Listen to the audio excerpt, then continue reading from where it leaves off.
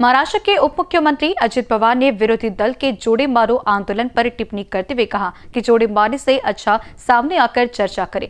पवार के इसी वक्तव्य पर प्रतिक्रिया देते हुए विरोधी पक्ष नेता विजय वडेट्टीवार ने कहा कि सत्ता कवच उतार कर आ जाओ ये काम जनता ही करेगी। नाही सत्तेची झुलं बाजूला करा जनताच मारेल। सत्तेची झूल पांघरून सत्तेचं प्रोटेक्शन घेऊन तुम्ही भाषा बोलत सत्तेची झूल अ, तुमचा कवच बाजूला ठेवा. आम्हाला मारायची गरज नाही. जनताच मारायसाठी तयार आहे. भेटेल तिथे मारायसाठी तयार आहे. एवढं जनतेला तुम्ही चढला